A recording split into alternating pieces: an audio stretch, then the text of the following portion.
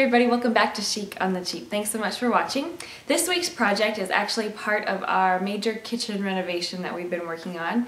Uh, in part of our kitchen, kitchen we have a little nook and my mother-in-law gave me this really pretty chandelier to put in the kitchen nook, but it didn't have any of the um, coverings to go over the light bulbs. Now some people will just put like the, the light bulbs that kind of look like a flame, but I've never been a fan of those, so I decided I wanted to try to make my own little lamp shades to go over each of the individual chandelier lights.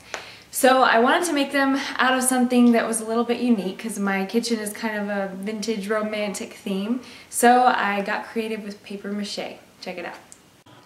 So to make the shades, I needed a shape that would fit around each light, and to do that I used my juice glasses. I started by spraying them with some oil so that after I made the paper mache around the glass, it would come off a little bit easier. So I guess this isn't true paper mache because I did use Mod Podge instead of a flour and water mixture, but you could do flour and water paper mache if you wanted to. I just like Mod Podge because it dries a little bit faster.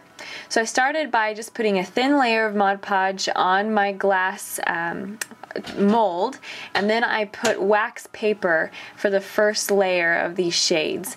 Now you may be thinking you're going to make a paper shade with Mod Podge to go over a light. Yes, but I'm only using 7 watt light bulbs and they're, they don't get very hot. You can run them all night and then grab them and they're not very hot. So it's a safe way to do it and the wax paper kind of acts as a, a mild heat barrier to the paper. So after you've done that layer of wax paper, next you're going to put another thin layer of Mod Podge over that. And then I took an old songbook and just ripped up some pages um, of that music and started to do a layer of Mod Podge over the wax paper. So I just kept layering on these sheets of music, these little pieces of music, over one another. And keep in mind that once you, once you have a light inside of here, you're going to see every place that you layer these pieces of paper. So if you don't want to see all the places where they cross each other, maybe just only cross them very minimally. So you can put them at angles, you can do whatever you want. And I liked kind of a jagged torn edge at the top just because I thought it looked a little more textural. You could trim it off at the top and make it um, flat if you wanted to. Be creative with it. So next, after they've dried, go back with your scissors and to get these off of the glasses, you're just going to cut a slit down uh, the cast that you've made and then just slide it right off the glass. The olive oil is going to help those to slide off real easy. And then all you need to do is put a little piece of tape on that seam that you cut and your shade is all done.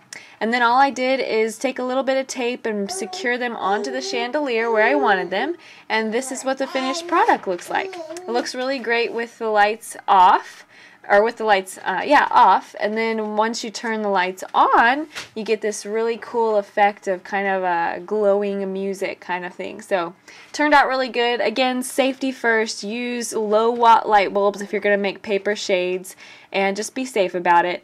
But it's a really cool effect and a cheap way to do it if you're looking for a creative idea for your chandelier.